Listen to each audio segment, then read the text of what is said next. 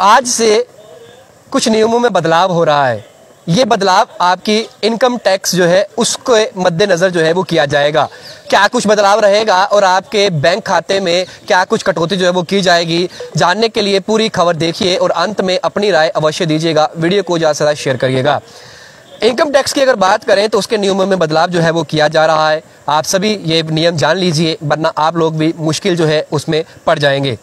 Cash deposit जो है उसके मद्देनज़र ये नए रूल वो बनाए गए हैं।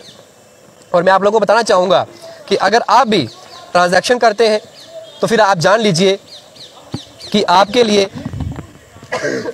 ये नियम जो है, ये काफ़ी महत्वपूर्ण रहेंगे।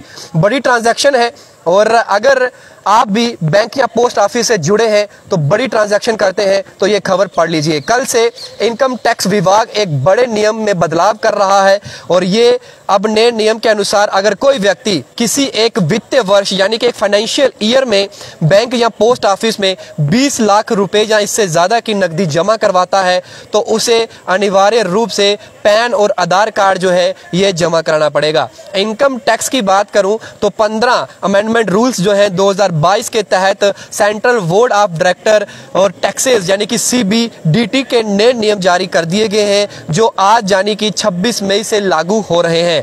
हालाँकि इस नियम को नोटिफाई कर दिया गया है ऑलरेडी और अब मैं आपको बताना चाहूँगा कि आधार और पैन जो है, वो क्यों ज़रूरी जो है, वो हो गया है। एक वित्तीय वर्ष यानी कि एक फाइनेंशियल ईयर में एक से ज़्यादा खाते में अगर कोई 20 लाख रुपए कैश जमा कराता है तो उसे पैन आधार जमा कराना होगा। एक वित्तीय वर्ष में किसी बैंकिंग कंपनी या फिर ऑपरेटिव बैंक या फिर पोस्ट ऑफ़िस में किसी एक या एक से ज़्यादा अकाउंट में 20 लाख रुपए निकालने पर भी पैन आधार लिंक जो है, वो होना ज़रूरी है।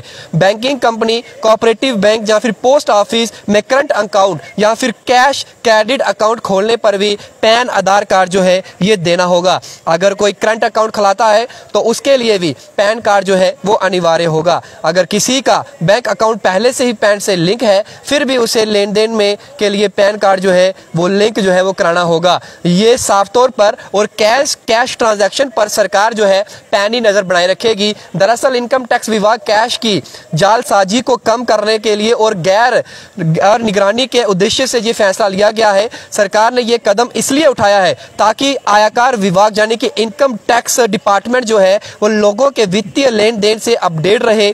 अब आधार पैन को जोड़ने से ज़्यादा से ज़्यादा इनकम टैक्स जो है, उसके दायरे में आएँगे। दरअसल ट्रांजैक्शन करने के दौरान पैन नंबर होने पर इनकम टैक्स विभाग जो है, आप पर पैनी नज़र बढ़ा सकता है। इसीलिए ये जो नियम है, इसे लागू किया गया है। हालाँकि जो छोटी ट्रांजेक्शन रहती हैं, उसमें ऑलरेडी पैन कार्ड और आधार कार्ड जो है, उसे लिंक कर दिया गया है। लेकिन अब बड़ी ट्रांजेक्शन जो रहेंगी, उनके साथ भी इसे जो है, इस नियम को लागू कर दिया गया है। यानी कि आज से ये रूल लागू हो जाएगा। एक से ज़्यादा अकाउंट आपके पास है, बीस लाख से ज़्यादा अगर आप डिपॉजिट या फिर फिर निकालते हैं तो आपको अपना पैन कार्ड या आधार कार्ड जो है वो लिंक कराना होगा। अन्यथा आपका अकाउंट जो है वो फ्रीज हो जाएगा, पैसे ना तो निकाल पाएँगे, ना जमा करवा पाएँगे। इस अपडेट को जैसे लोगों तक शेयर करिएगा, ताकि हर एक इंसान जो है इस इन्फॉर्मेशन को पा ले और उस इन्फॉर्मेशन को आगे लोगों तक भी शेयर कर ले।